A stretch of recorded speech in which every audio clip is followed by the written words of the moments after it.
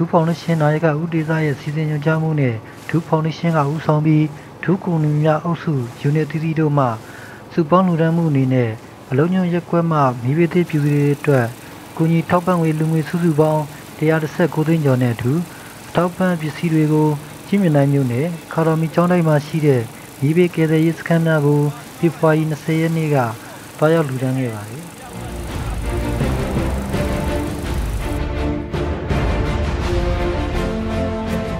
ဒီလောင်ကျွမ်းမှုမှာပြီးခဲ့တဲ့ဖေဖော်ဝါရီ16ရက်ည9နာရီခန့်ကချင်းမြနိုင်မြို့နယ်တစ်ဖက်ကမ်းမှာရှိတဲ့ဘလုံညုံရက်ကွက်မှာဖြစ်ပွားခဲ့တာဖြစ်ပြီးအင်ဂျီ160ကျော်ဆုံးရှုံးခဲ့တယ်လို့သိရှိရပါတယ်။မိသားရင်30ကျော်နဲ့ဖိုင်ယာဘော်5စီးလာရောက်နှိမ့်သက်ခဲ့ပြီးကနအူသတင်းထုတ်ပြန်ချက်အရမီးလောင်အဆင့်လေးသတ်မှတ်ခဲ့ပြီးတိုင်းဆင်မိသက်ဌာနကလာရောက်နှိမ့်သက်ခဲ့ရတယ်လို့သိရှိရပါတယ်။အဲ့ဒီမတော်တဆမီးလောင်ကျွမ်းမှုကိုညစေနာရီကမှမင်းညွတ်ထိန်းနိုင်ခဲ့တယ်လို့သိရှိရပါတယ်။ လ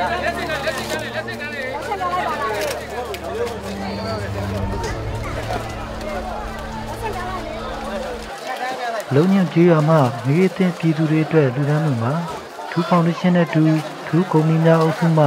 ဇန်တော်ကြီးပဲလေးဟိုတယ်ဟိုတယ်ပူနေယူနစ်အဲဘကန်ဒီပက်ပထရီယန်ထူးဆောက်လို့ရထားတဲ့ခြားယူနေများလည်းတက်တက်ကြွကြွပူးပေါင်းပါဝင်ခဲ့ပါတယ်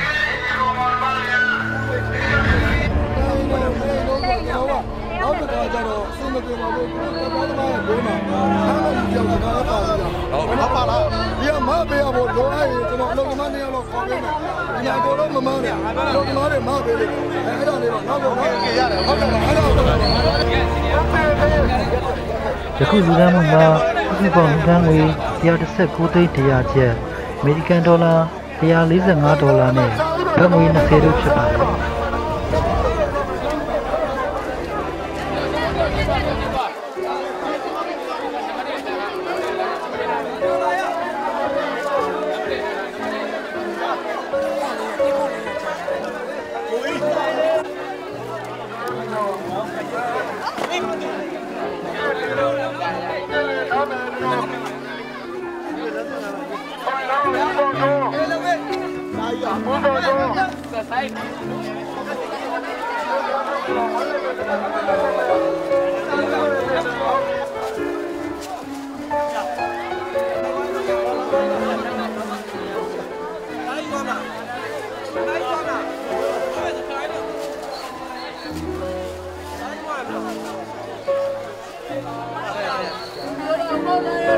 ဒီပြည်တင်ပြည်သူတွေအတွက်ထောက်ပံ့ပစ္စည်းများလှူဒါန်းမှုအနေနဲ့